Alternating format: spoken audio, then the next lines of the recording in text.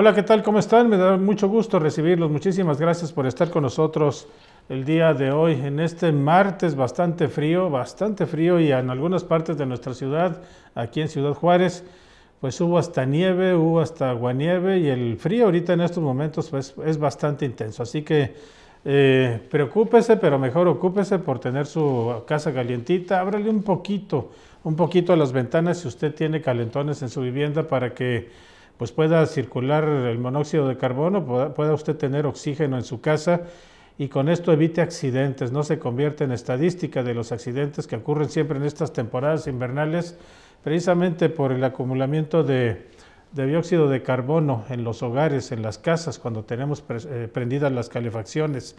Y bueno, pues dicho esto, déjeme ir directamente ya a la información. Recuerde que dentro de unos momentos Hoy es martes, va a estar con nosotros el licenciado Eleodoro Juárez González y vamos a platicar con él pues acerca de una reunión, de una reunión que se efectuó en días pasados, apenas la semana pasada por ahí del jueves viernes en Guerrero, aquí en Guerrero, Chihuahua. El presidente eh, municipal de este municipio, el ingeniero Comadurán Amaya, convocó a los presidentes municipales del estado de Chihuahua para que acudieran a este municipio a una reunión con el eh, diputado y presidente de la Comisión de eh, Presupuesto y Cuenta Pública de la Cámara de Diputados, Alfonso Ramírez Cuellar, donde se esperaban anuncios importantes y bueno, pues no ocurrió así, anuncios importantes en relación pues al presupuesto, al dinero que se suponía que, que se les iba a apoyar a los municipios pues para trabajar, para obras, para beneficios de los chihuahuenses, no ocurrió así e incluso pues a algunos municipios en materia de seguridad pública, es el caso de Juárez, no solo no se les dio, sino que se les redujo el presupuesto en este, en este rubro y en otros que bueno, pues salieron bastante molestos, decepcionados, desilusionados algunos presidentes municipales que no tuvieron la fortuna de ser apoyados con los recursos que generalmente se les entregaban para obra pública. Pero bueno, este será un poquito más adelante con el licenciado Leodoro Juárez, lo invito para que se quede. Y mientras tanto, vamos ya directamente a la información. Fíjese que el día de hoy se le formularon cargos de homicidio agravado pues a esta mujer que presuntamente privó de la vida a su propia hija aquí en esta frontera. En punto de las 12 horas fue presentada ante un juez de control Linda Elizabeth acusada de homicidio agravado en daño de su hija menor de dos años. Durante la audiencia, la Ministerio Público, adscrita a la Fiscalía Especializada de la Mujer, indicó ante la autoridad judicial los hechos que se suscitaron durante el día 12 de febrero en el interior de su vivienda ubicada en la calle Martínez Grulla de la colonia Granjas de Chapultepec entre las 12 y 30 y las 18.30 horas, entre las 12 y 30 y las 6 y media de la tarde. En este domicilio, la imputada Linda Elizabeth presuntamente privó de la vida a su hija de iniciales IEAA de tan solo dos años, una bebé prácticamente, toda vez que con un cuchillo le ocasionó heridas punzocortantes en el tórax, causándole la muerte derivada de shock hipovolémico consecutivo a laceraciones en el pulmón izquierdo, para posteriormente autolesionarse con la misma arma en el tórax, lesiones que eh, pues no pusieron en riesgo su vida. La presunta homicida, la propia madre de esta bebé, fue detenida en el término de la fragancia y hoy fue presentada ante un juez de control, mismo que fijó la audiencia de vinculación o no a proceso para el día 19 de febrero, el día de hoy precisamente, a las 11 de la mañana, quedando por estos hechos en prisión preventiva. Le informo que este día se llevó la audiencia de vinculación a proceso de Linda Elizabeth AM de 21 años, quien presuntamente privó de la vida a su hija de tan solo dos años de edad. El juez impuso la prisión preventiva y fijó cuatro meses para cierre de investigación por el delito que se le imputa a esta mujer, que es homicidio agravado y calificado. Caray, pues son verdaderamente terribles, terrible dar este tipo de noticias, estos hechos de violencia y luego lo más lamentable de, la propia mamá, hacerle daño a su hija, una menor de dos años, una bebé pues verdaderamente son dolorosas y lamentables este tipo de, noticias, de cosas que no deberían, no deberían de suceder, pero desafortunadamente pues ahí están, ahí están latentes. Bueno, como también aquí en Ciudad Juárez, otro hecho que ha llamado muchísima la atención, pues es la llegada intempestiva de una gran cantidad de migrantes procedentes de Centroamérica y de Sudamérica aquí a nuestra frontera, Ciudad Juárez. Esta mañana, tan solo esta mañana, se tenía ya un registro de 489 migrantes en el gimnasio de los colegios de bachilleres. Eduardo Limón, quien es el coordinador aquí en la zona norte, dijo que el lugar ya sobrepasó, ya rebasó su capacidad máxima y se tomó la decisión de ya no dejar ingresar a más personas. Limón señaló que ese lugar no es un albergue y que es importante que las autoridades busquen un espacio para los migrantes, pues posteriormente deben de desalojar el lugar, el gimnasio de los bachilleres.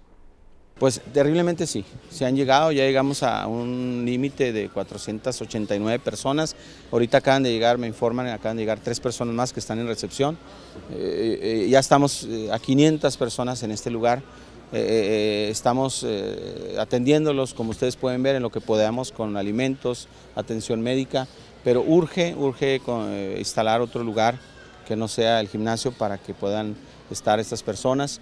Eh, la capacidad se ha rebasado, ustedes pueden ver que ya se encuentran en el segundo nivel, hemos improvisado dormitorios en el segundo nivel eh, y este, esto a partir de hoy yo me comuniqué ya con el subsecretario, le informé la situación y acordamos no recibir más personas en el gimnasio del Colegio de Bachilleres y a, apresurar para que se tome una decisión de buscar otro lugar donde se puedan atender a estas personas.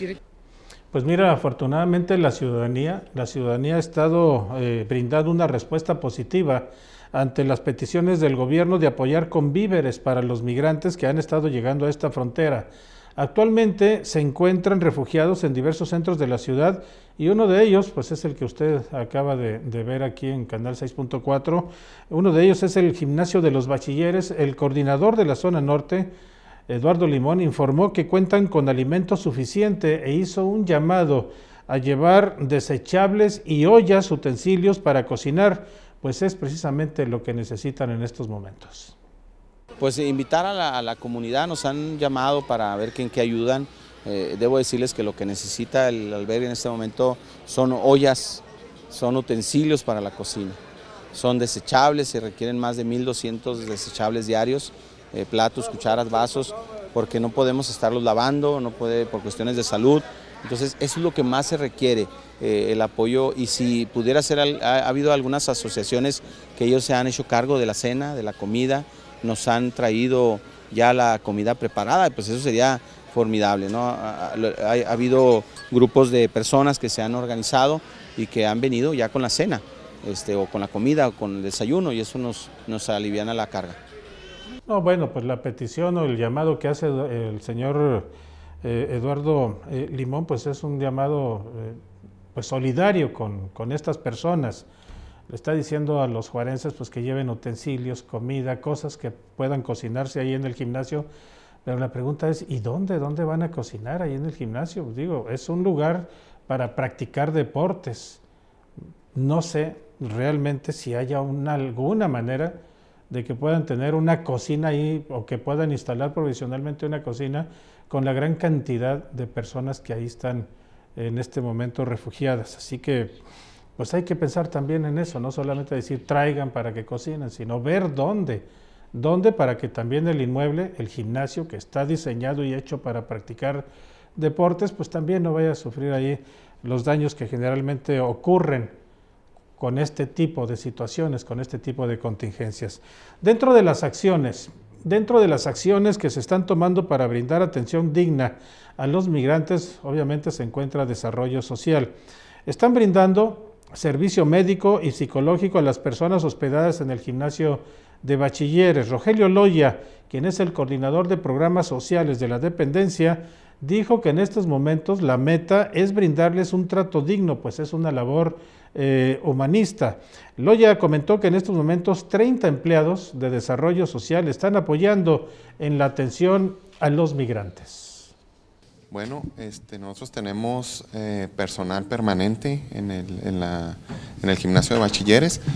Eh, nosotros tenemos montada una, una, cocina también y estamos recibiendo víveres tanto de la comunidad como de, del DIF y de, de otras instancias de gobierno.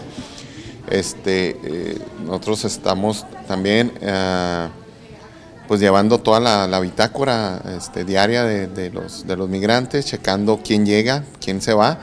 Este, se está, hay un filtro para platicar con ellos y algunos de ellos eh, pueden irse a algún hotel o algún otro lugar, este, que se puedan ir sin ningún problema, porque ellos, muchas veces ellos piensan que si se van de aquí de, del albergue, pierden su, su, su número. Eh, se les está dando también atención a los niños a través de, diferentes tipos de, de actividades. Este, tenemos eh, psicólogos eh, especialistas en niños, los tenemos a los adultos, a los adultos también se les está dando pláticas, se les está dando atención psicológica y todas aquellas personas que llegan con al, algún problema, este, hemos tenido aquí algunos migrantes que llegan en situaciones este, eh, de, de, miedo y de, de este, y se les ha atendido también a través de los, de los psicólogos de aquí en la Subsecretaría de Desarrollo Social. Este, y bueno, pues estamos, tenemos alrededor de, de 30 personas atendiendo a los, a los migrantes por parte de la subsecretaría. El coordinador. Bueno, pero también hay otras necesidades. Ahorita le preguntaba o hacía yo el razonamiento de si tenían pues una cocina provisional, algo para que pudieran ahí ellos preparar sus, sus alimentos, pero pues también necesitan eh, médicos que los estén atendiendo diariamente. Con este frío y estar durmiendo en un espacio así, yo no sé si tengan la calefacción idónea, si tengan eh, pues las cobijas, si tengan todo lo que necesita para hacer frente a esta temporada de invierno que ha estado bastante eh, pesada, pero es algo que también en, lo que hay que trabajar de una manera oportuna, porque las enfermedades respiratorias pues también pueden hacer mella en la salud de todos estos eh, eh, migrantes que van a los Estados Unidos o que tienen propósito de ir a los Estados Unidos en busca del sueño americano. Bueno, pues ante la falta de espacios para recluir a los migrantes que están llegando del sur o de otros estados del país, aún no se cuenta con un lugar específico en donde puedan permanecer. Rogelio Loya, a quien veíamos hace un, momento, hace un momento y que está haciendo un trabajo bastante bueno ahí en la Secretaría de Desarrollo Social, dice que los centros comunitarios están descartados, pues en, tan solo en un centro comunitario solo caben 30 migrantes y no tienen las condiciones necesarias. Y otro de estos eh, necesidades que tienen pues son regaderas. Escuchemos, escuchemos a Rogelio Loya de la Secretaría de Desarrollo Social. Desde, eh, lo que pasa es que en los centros comunitarios ya hemos estado checando y, y, no hay capacidad, o sea, en cada centro comunitario nos cabrían 30 personas y, y, además de que no tienen regaderas y se necesita buscar un espacio que tenga, que esté más o menos medianamente equipado, este, pero sí, este, desde un principio se está buscando una nave este, maquiladora para poder meter a, a, a tanto migrante. Este, se entiende que el gimnasio de bachilleres tiene sus actividades diarias, sus eventos deportivos y sus actividades culturales, este, pero sí se está buscando un espacio donde poner este, a los migrantes. Bueno, al regresar, al regresar le voy a obtener más información sobre este fenómeno migratorio que se está dando no solamente en esta frontera, sino en otras fronteras del país.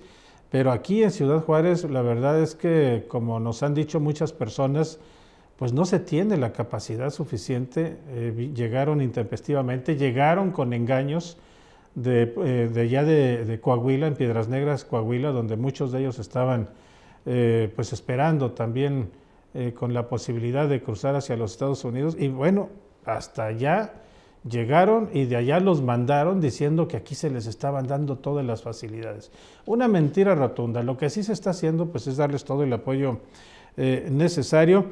Pero ¿qué cree usted? Hasta en estas caravanas vienen jovencitas, muchas de ellas, bueno, algunas de ellas muy jovencitas, cubanas, que vienen embarazadas. Fíjese usted nada más, el sueño americano todo lo que provoca, que desde allá vengan arriesgándose, que vengan enfrentando una serie de situaciones, peligros a los que se exponen y luego pues con un ser humano que se está desarrollando en sus vientres. Sobre esto le voy a platicar un poquito más adelante. Mientras tanto voy a una pausa y regresamos con más, más información en Canal 6.4. Regresamos.